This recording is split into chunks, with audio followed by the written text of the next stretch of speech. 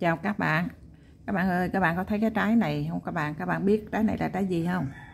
Mình hôm nay mình mới biết trái này, cho nên mình mới là review lại cho các bạn xem.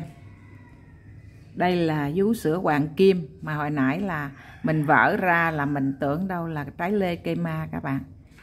Con mình nó gửi từ Sài Gòn đem về cho mình, mà cái người đem là đứa con thứ hai. Nó nói, mẹ ơi, chị gửi về trái lê cây ma cho mẹ nhưng mà mẹ mình bóp mình thấy trái lê cây ma mà sao nó cái da nó ngộ ngộ. Ờ, cái da nó mềm mềm vậy nè các bạn. À, đâu phải trái lê cây ma đâu. Đó. đây là vú sữa hoàng kim nha các bạn. Mình mới phát hiện nè. Mình xẻ ra rồi mình mới biết vú sữa hoàng kim.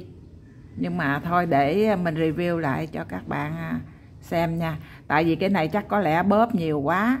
Nó đi lên Sài Gòn rồi Sài Gòn mới là à, dội về cho nên cái ruột nó không được đẹp nè các bạn. Hồi nãy mình xẻ ra thì cái này nó còn chát nè. Cái trái này nó chưa có chín lắm cho nên nó còn chát nó còn hơi à, vân đen như vậy nhưng mà ăn chắc không sao đâu các bạn ha.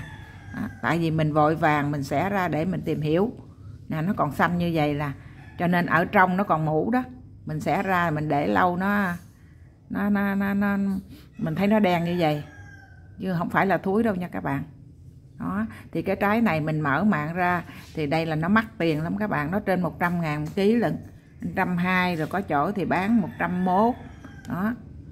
Nhưng mà mình đi Vĩnh Kim hoài à mình đi Vĩnh Kim là vú sữa Vĩnh Kim á thì mình biết. Mình có vô chợ Vĩnh Kim nữa mình biết. Nhưng mà mình không để ý tới cái vú sữa Hoàng Kim này chắc có lẽ là nó hiếm lắm các bạn. À, nó là chống oxy hóa rất là mạnh nó nó là tốt cho mắt Ờ, tạo đề kháng rồi đó.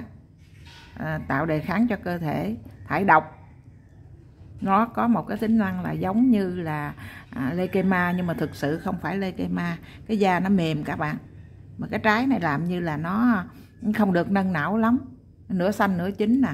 Hoặc là nó cám như nè. Nó cám da nè các bạn thấy không? Này da cám nè chứ không phải là cái cái da nó bình thường. Da cám thì chắc có lẽ cũng tốt thôi cũng ngọt.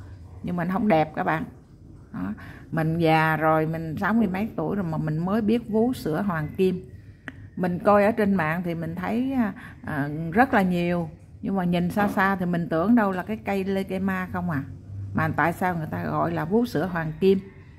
Đó. hôm nay là vú sữa hoàng kim về tới nhà mình. Rồi mình tìm hiểu nha các bạn. Mình mở ra mình mới biết đó là trái vú sữa. Đó. rất là mắc mà hiện nay là trên mạng là hot nữa chứ ừ. nó xuất xứ từ Đài Loan đó các bạn. À, à, do một người sách tay về à, cái giống vú sữa này để mà à, trồng đó. Thành ra bây giờ ở Việt Nam mình cái loại vú sữa này nó mắc hơn cái vú sữa bình thường các bạn. Vú sữa bình thường thì hồi nhỏ giờ mình biết rồi mình ăn rất là nhiều. Nhưng mà mình nghe cái này là chỉ nghe thôi hôm nay mới biết nè. Đó. mà các bạn thấy mấy cái trái này nó không có đẹp nè. Cái này là da cám chứ không phải là nó ở trong này. Da cám như vậy thì cái bên trong nó dễ bị sượng. Người tại chắc con mình không biết mua. Mua ở trên thành phố không biết bao nhiêu mà gửi về cho mẹ nè. À, nó chắc nó cũng tưởng đâu là lê cây ma thôi. Tại vì mẹ thì mẹ thích lê cây ma chứ không phải thích thích vú sữa. Mà hôm nay có ba trái thôi. Kèm với một cái hộp um, cherry. Cherry thì mình ăn nhiều mình biết rồi. Còn ở đây vú sữa hoàng kim. Ừ, mình dở ra nó như thế này mà, mà mình đọc ở trên mạng thì nói là cái loại vú sữa này có một hạt làm sao mình dở trái này ra là hai hạt rồi các bạn. Mà nó mỏng như thế này nè. Nhưng mà tại vì mình vội vàng quá. À, nó còn xanh. Thành ra nó có những cái à, mình dở ra mình để nó nó nó bị à, đen cái vỏ nè. Chưa ăn nha các bạn mới review thôi chứ chưa ăn.